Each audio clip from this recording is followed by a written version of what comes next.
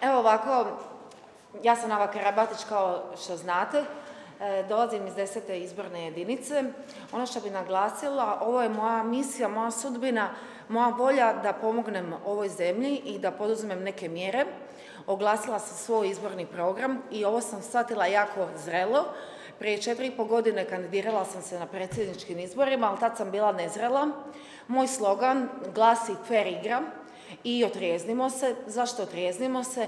Baš zbog toga što sam ja prošla jednu, bila sam u kanđama alkoholizma i pobjedila sam, evo već sedam i pol mjeseci sam trijezna i želim mnogim mladima poručiti da se, da se manu poroka i svega, a najvažnije da sad puno ne pričam na dugo i široko je, e, naravno e, da nasilje nad ženama. Ja sam proživjela dva puta e, seksualno zlostavljanje, to je pokušaj seksualnog zlostavljanja i cijela se naježem, idu mi suze. Prvi put na fakultetu kao djevojka od 21 godinu i drugi put od svog stanodavca i zato svim silama ću se boriti da žene budu ravnopravne i da imaju divan položaj u ovoj zemlji i naravno kao moja prva stavka to je znači kemijska kastracija pedofila i silovatelja maloljetne djece. Neću nabrati jer to se podrazumijeva borba protiv korupcije i povećavanje plaća. Nismo mađioničari da sad odmah donesemo neki rezultat, ali naravno da znam kako bi to napravila. Prvo bih ljudima, dala bih ljudima da budu moralno svjesni i da otklone strah od toga da li će dobiti otkaze ili neće, da idu na posao sa jednim smješkom, sa jednom radošću i da se promijeni nešto u ovoj zemlji. Kao što sam malo prije izjavila, e, trebao bi se malo ublažiti hedonizam, pogotovo kod mlađe populacije, jer tako nije bilo prije 10-15 godina, jer ono što bi ja metaforički kazala je to da dođu i najlakše je pojesti šlak sa torte. A pitanje je da li te djevojke znaju jesu li ikad u životu uzele motiku, da li su ikad u životu skuhale kavu, da li su ikad u životu pomuzle kravu i kozu.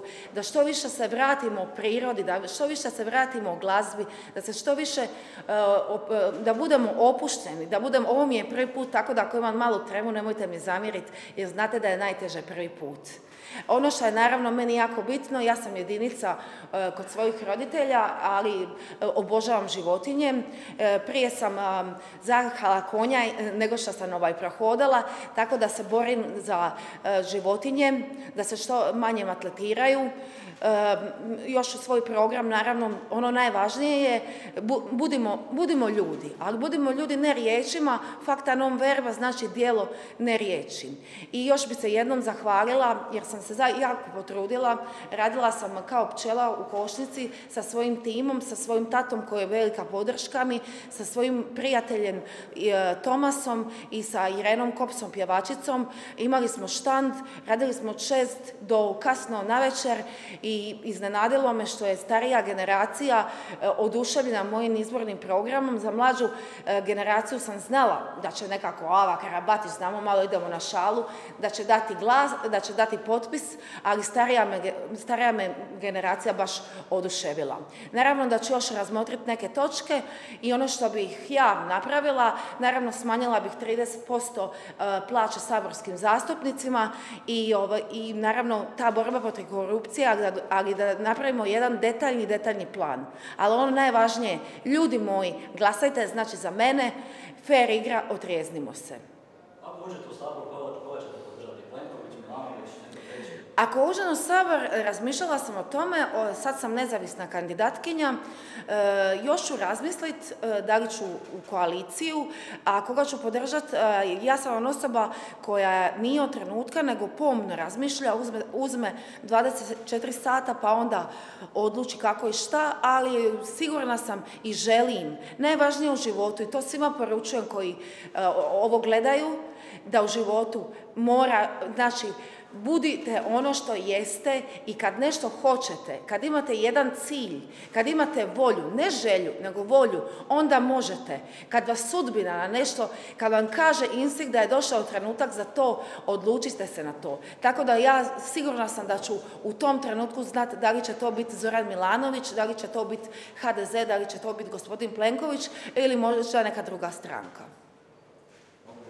Hvala lijepa. I još nešto, čestitala bih, evo veliki je petak, postimo.